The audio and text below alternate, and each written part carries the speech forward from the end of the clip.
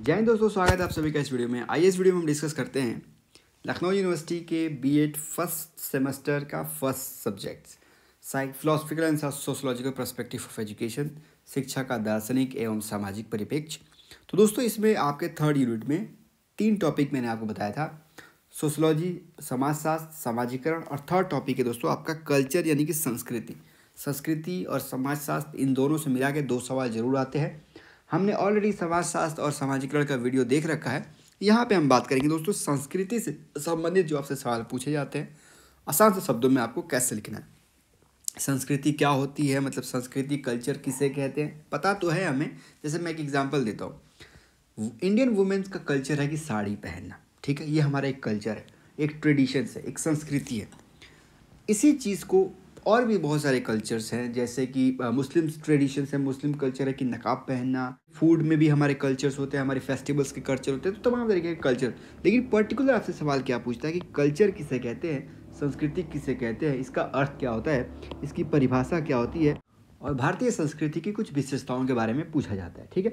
तो आइए one by one देखेंगे, बहुत लंबी वीडियो नहीं होगी शॉर्ट वीडियो में हम समझने की कोशिश करेंगे। एक सवाल आपको संस्कृति से देखने को ज़रूर मिलेगा।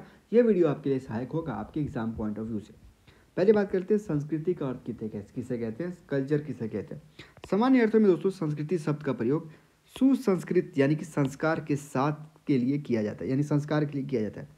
संस्कृति का मतलब सुसंस्कृत मतलब आपके संस्कार आपके साथ रहे, ठीक है?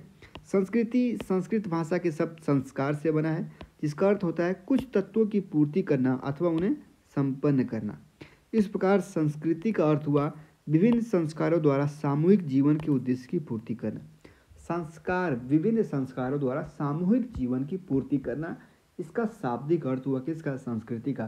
संस्कृति के बारे में अगर आपको लिखना हो तो आप लिखिएगा कि संस्कृति संस्कृत के संस्कार शब्द से बना है, अर्थात संस्कार के साथ आपको जीवन जीना है। संस्कार के साथ आपको जीवन यहाँ पे व्यापन करना है।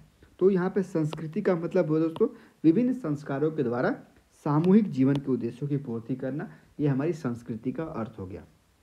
अब आइए, संस्कृति की कुछ परिभाषाएँ देख लेते हैं। रोशक के अनुसार संस्कृति की परिभाषा क्या होगी? संस्कृति की साधारण परिभाषा इस प्रकार से दी जा सकती है कि किसी विशेष समय और स्थान में निवास करने वाले विशेष व्यक्तियों के जीवन व्यतीत करने की सामूहिक विधि।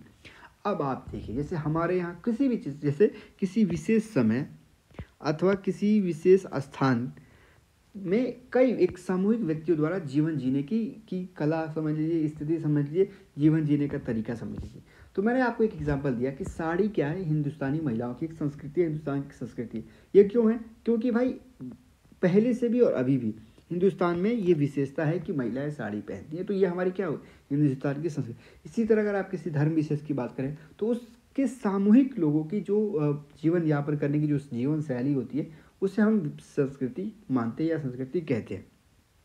इसी चीज़ को किसने कहा था? रोसेक ने कहा था। रोसेक ने क्या कहा था कि भाई, रोसेक ने कहा था दोस्तों कि संस्कृति क्या है भाई? संस्कृति हमारा, को हम कह सकते हैं कि विशेष समय स्थान में निवास करने वाले विशेष व्यक्तियों के समूह सामूहिक जीवन व्यतीत करने की सामूहिक विधि को हम संस्कृति कहते हैं। चलिए। यहाँ पे टॉयलर ने लिखा था कि संस्कृति वह जटिल पूर्णता है जिसमें ज्ञान, विश्वास, कला, नैतिकता, नियम, रिवाज और समाज के सदस्यों के रूप में मनुष्य द्वारा अर्जित की जाने वाली अन्य योग्यताएँ एवं आदतें सम्मिलित है।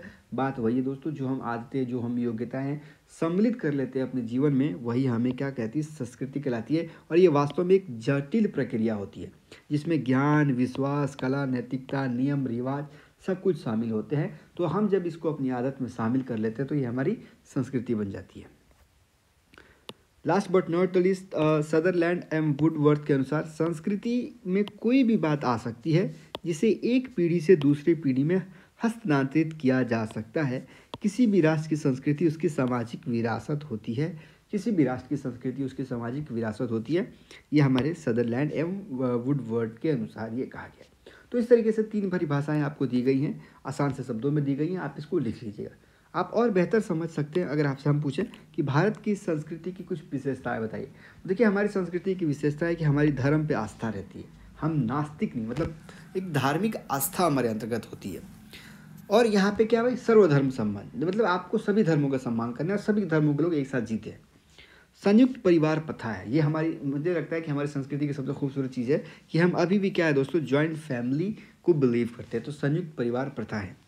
विभिन्नता में एकता दोस्तों, ये हमारी खूबसूरती है। अतिथि की सेवा, अतिथि देवो भव ये हमारी भारत की संस्कृति है दोस्तों। शांति एवं अहिंसा का सिद्धांत। पहले वॉर नहीं करेंगे, पहले छेड़ेंगे नहीं, लेकिन जो छेड़ेगा उसे छोड़ेंगे नहीं। तो ये हमारी क्या भाई? शांति एवं अहिंसा का सिद्धांत, विश्व बंधुता का सिद्धांत, ये हमारी क्या भाई? भारत संस्कृति की एक प्रमुख विशेषता है। अब ये मैंने केवल हेडिंग बताया है। अब इसको आप एक्सप्लेन करते हुए जाएँगे।